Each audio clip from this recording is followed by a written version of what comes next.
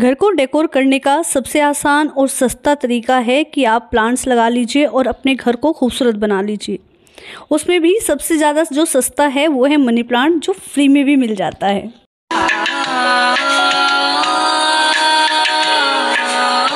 की वीडियो में मैं आपके साथ शेयर करूँगी मनी प्लांट के ऐसे चार आइडिया जिससे आप अपने घर को डेकोर कर सकते हैं और जो मनी प्लांट है उसे बुशी बना सकते हैं।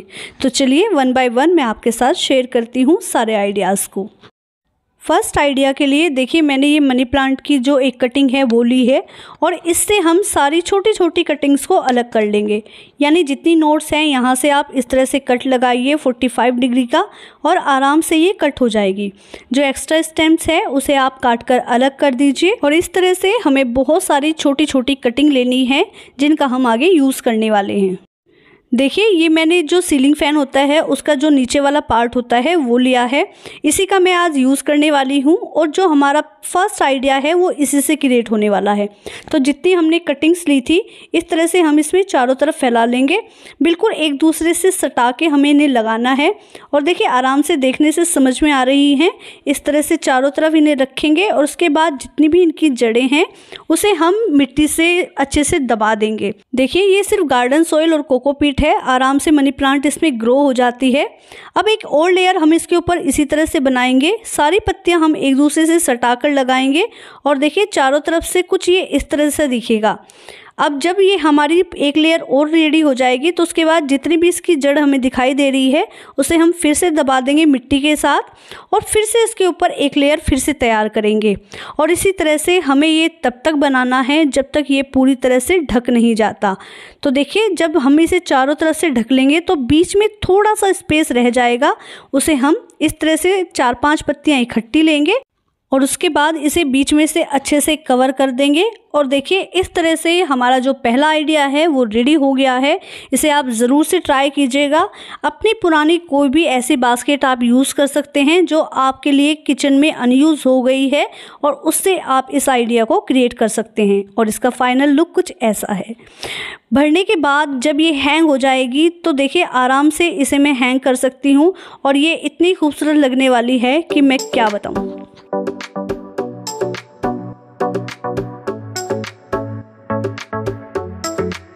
अगले आइडिया के लिए देखिए मैंने ये स्टील वायर है, इसे कुछ इस तरह से बेंड किया है, नीचे से स्ट्रेट रखा है और चारों तरफ़ से कुछ गोलाई में इस तरह से फैला लिया है, जितना कि मुझे इसका रिंग बनाना है।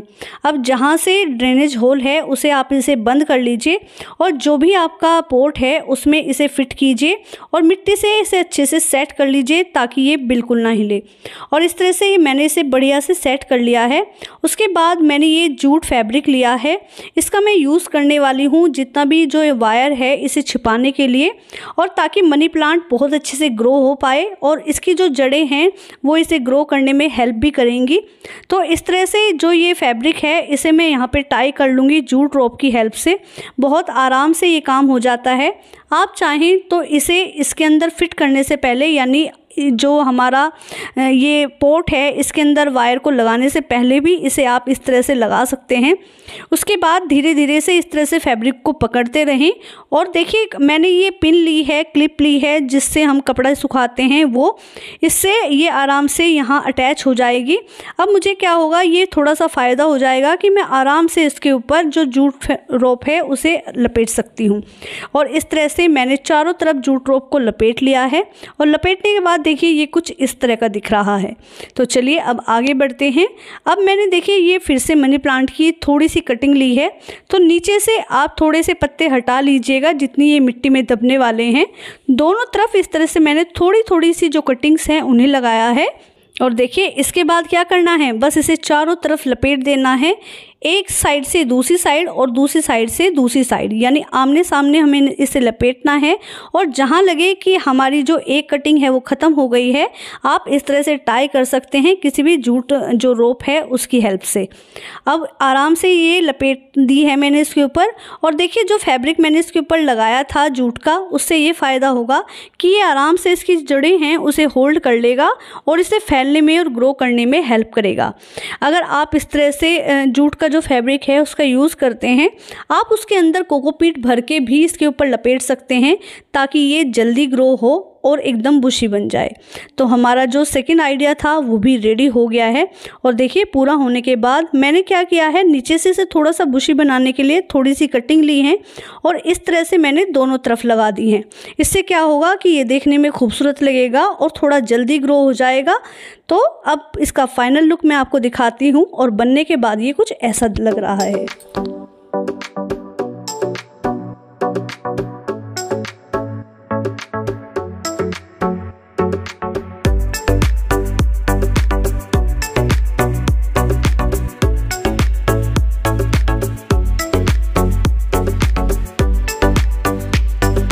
आइडिया के लिए, देखिए, मैंने, मेरे पास एक पुरानी कढ़ाई थी नॉन स्टिक लेकिन बिल्कुल ख़राब हो गई थी। मैंने इसे पेंट कर लिया है गोल्डन पेंट से, लेकिन इसकी जो क्लिप है, वो मुझसे डिलीट हो गई है। लेकिन देखने से आपको ये समझ में ही आ रही होगी। और मैंने इसके अंदर छोटी छोटी सी इस तरह से कटिंग लगा दी है, और इसको मैंने इतना भर दिया है कि एकदम बुशी हो गया है। क्योंकि जहाँ पर हैंडल थे, जब मैंने वो हैंडल रिमूव किए तो वहाँ पर दो होल भी हो गए हैं तो आराम से अब ये हैंग भी हो सकती है। तो इस तरह की अगर कोई पुरानी कढ़ाई है, आप भी उसे यूज़ कर सकते हैं अपने घर में, अपने घर को डेकोर करने के लिए। तो इसका फाइनल लुक कुछ ऐसा आया है और बनने के बाद ये बहुत सुंदर लगा है। इसे आराम से आप हैंग भी कर सकते हैं और चाहें तो सेंटर टेबल के ऊपर भी रख सकते हैं।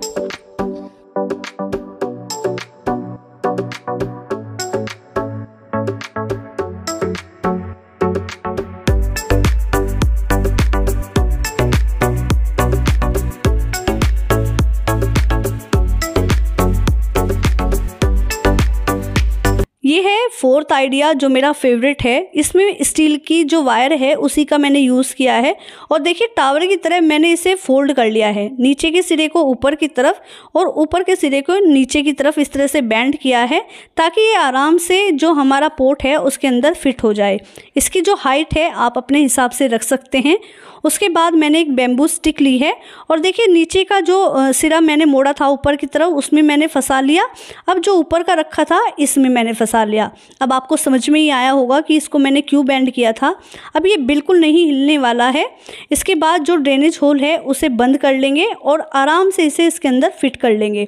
अब इसके थोड़े से जो हिस्से हैं वायर के, इसे हम दबा देंगे मिट्टी से, ताकि ये बिल्कुल ना हिले और मिट्टी को बहुत दबा दबा के भरना है, ताकि जब बाद में ये जो हमारे मनी प्लांट है, इसके ऊपर बढ़ने लगे तो ये बिल्कुल भी इधर उधर ना मुड़े।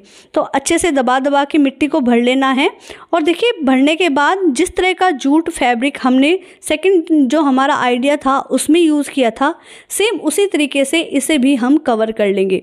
आप चाहें तो आप इसे इसमें लगाने से पहले यानी पोर्ट में रखने से पहले भी कवर कर सकते हैं और या मेरी तरह इस तरह से बाद में भी कवर कर सकते हैं। ये टोटली चॉइस आपकी है। आराम से मैंने देखिए इसे इसके ऊपर कवर कर लिया है और बहुत ईजिली कवर हो जाता है। बनने के बाद ये कुछ इस तरह का दिख रहा है। अब तो ये मैंने थोड़ी सी कटिंग ली है मनी प्लांट की। मेरे पास ये जो कटिंग बची थी, ये कुछ छोटी है। अगर आप इस तरह का आइडिया क्रिएट करते हैं तो थोड़ी सी लंबी कटिंग लीजिएगा। और देखिए, इस तरह से हम एक दूसरे के ऊपर इन्हें लपेट देंगे। और जहाँ लगे कि हमारी जो कटिंग है, वो ख़त्म हो गई है, वहाँ आप जो हमारा एक धागा है, उसका भी यूज़ कर सकते हैं। या मेरी तरह जूट जो रोप होती है, उससे भी इसे टाई कर सकते हैं। और नीचे से इसे बुशी बनाने के लिए मैंने ये थोड़ी थोड़ी कटिंग ली है। और इन्हें भी मैं मिट्टी में इस तरह से दबा दूँगी। और उसके बाद, ये बनने के बाद जब पूरी तरह से फैल जाएगा, बढ़ जाएगा तो ये बहुत सुंदर दिखने वाला है। और आने वाली वीडियोज़ में जैसे ही इसकी ग्रोथ होगी, मैं आपके साथ ज़रूर से शेयर करूँगी।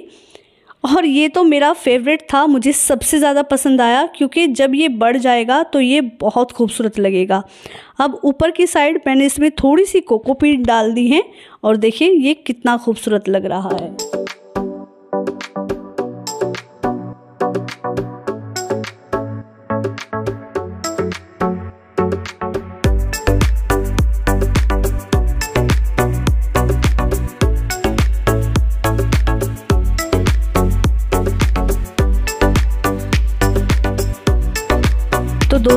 आज के लिए था इतना ही। अगर आपको कोई भी आइडिया पसंद आया है तो वीडियो को लाइक कीजिएगा चैनल को सब्सक्राइब कीजिएगा और कमेंट करके ज़रूर बताइएगा कि आपको कौन सा आइडिया सबसे ज़्यादा पसंद आया। बहुत जल्दी मुलाकात होगी आपसे किसी और नई इंटरेस्टिंग वीडियो में। तब तक के लिए okay friends thank you and bye